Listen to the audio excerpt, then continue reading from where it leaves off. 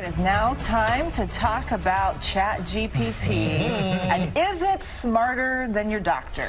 Artificial intelligence. It's become such a topic. Uh, the trending topic now is uh, can artificial intelligence take your job? And I have to say, as a physician, when I looked at it, I, of course not. But a new study tells me that that might not be the case. In this new study from the American Journal of Gastroenterology, they used ChatGPT, which is a common artificial intelligence app, and they submitted questions from their common board exams. And what score do you think that ChatGPT got? Um, give you just to give you some understanding, a passing score is 70 percent. Mm, let's say 75.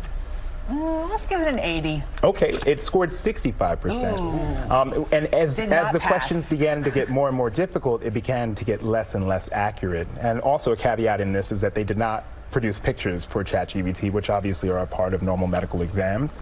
But the interesting part is that artificial intelligence is called that because it can continue to learn. And so the question now is, what can we do with this information and how can you, we use this for clinical interventions? And I know it's too early to tell, but what's the possibility that this could be the way of the future?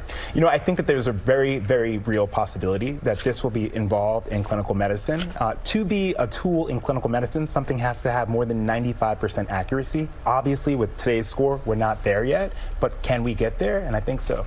You A sound like one of my professors. We're not there yet. Tool, but not a replacement. Exactly. I like exactly. that. Interestingly enough, I actually asked ChatGPT uh, ChatGPT some questions that I would Uh-huh. normally ask a medical student. Here, I asked basic symptoms of a common emergency called a pulmonary embolism, a blood clot in your lung. I listed some common symptoms a patient should have: cough, shortness of breath, and ChatGPT got it correct with the correct answer. Not only that, with other causes of the same symptoms, and then appropriate information about where to go. All right, we'll be watching. Thank you.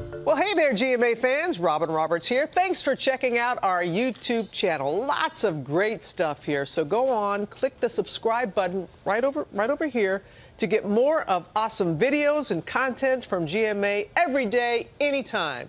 We thank you for watching, and we'll see you in the morning on GMA.